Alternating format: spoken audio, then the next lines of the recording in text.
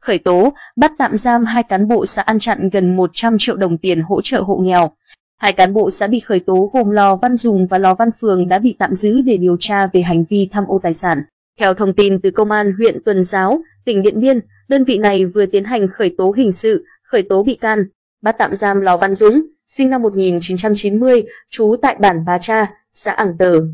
huyện Mường Ảng và Lò Văn Phường, sinh năm 1988, trú tại bản Lúm, xã Mường Mùn, huyện Tuần Giáo, là công chức Ủy ban Nhân dân xã Pú Si để điều tra về tội tham ô tài sản. Trước đó, ngày 17 tháng 5 năm 2023, Cơ quan Cảnh sát điều tra Công an huyện Tuần Giáo tiếp nhận tin báo từ người dân về việc cán bộ xã Pú Si đã lấy tiền hỗ trợ tiền điện. Quý 4 năm 2022 của hộ nghèo, hộ chưa có điện của các bản trên địa bàn nhằm chiếm đoạt làm tài sản cá nhân. Cơ quan Cảnh sát điều tra Công an huyện Tuần Giáo đã điều tra, tiến hành khám xét nơi làm việc của Lò Văn Dũng, công chức văn phòng kiêm thủ quỹ xã và Lò Văn Phường, công chức văn hóa xã Củ Si. Qua quá trình đấu tranh khai thác với những tài liệu, chứng cứ thu thập được, Cơ quan Cảnh sát điều tra Công an huyện Tuần Giáo xác định hai đối tượng đã lợi dụng chức vụ tự ý chiếm đoạt số tiền hơn 88 triệu đồng, là tiền hỗ trợ tiền điện quý 4 năm 2022 của hộ nghèo, hộ chưa có điện để sử dụng vào mục đích cá nhân. Hiện, vụ việc đang được lực lượng chức năng công an huyện Tuần Giáo tiến hành điều tra,